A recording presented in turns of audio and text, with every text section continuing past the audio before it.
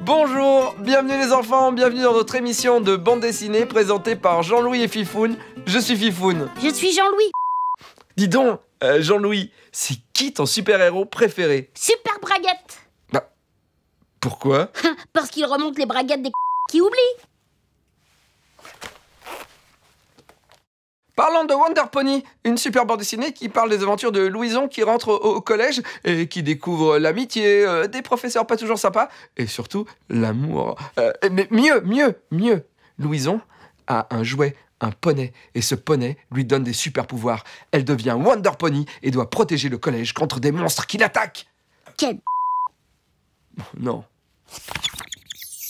Louison, je suis l'esprit de l'internat et tu as été choisi pour en être la gardienne. Aussi souvent qu'il le faudra, je te transformerai en Wonder Pony et tu te battras pour sauver le collège. Wonder Pony Panique au collège, une bande dessinée de Marie Spénal aux éditions Jungle.